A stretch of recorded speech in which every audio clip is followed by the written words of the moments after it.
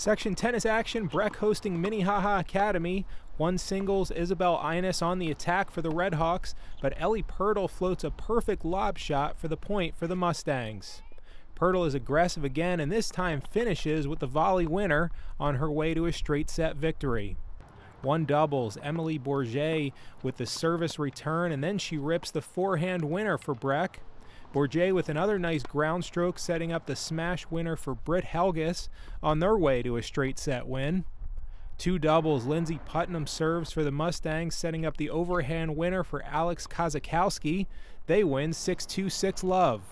Two singles, Bristol Engelsma gets the forehand winner for Breck. She's in control in the second set.